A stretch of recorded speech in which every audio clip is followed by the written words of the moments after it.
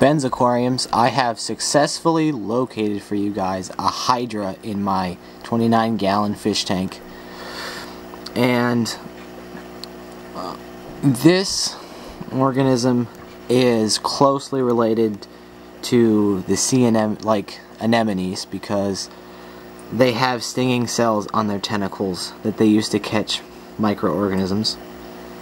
Their skin is two cells thick and they have the ability to either move by using the foot that they use to attach themselves to the glass which is really slow or they can go end over end and do like a somersault to move throughout the tank.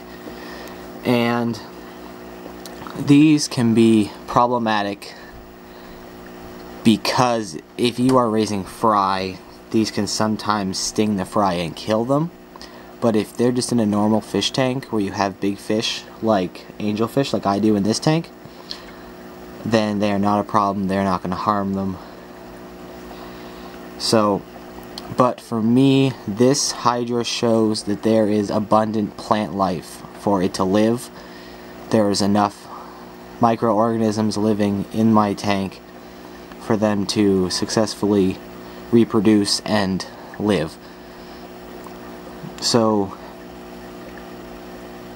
complete to be completely honest, it's like a mini ecosystem because I showed you guys the flatworm thing. I showed you guys um, in the previous in the previous video before this um, a harpacticoid copepod. It's not a cyclops. I looked it up in a book. It's a harpacticoid copepod. Not quite sure on how to pronounce that, but that's my guess. So, and now I'm showing you guys a hydra.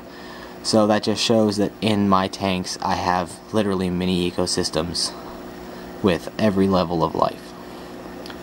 Alright, thanks for watching. Comment, rate, and subscribe. Talk to you later.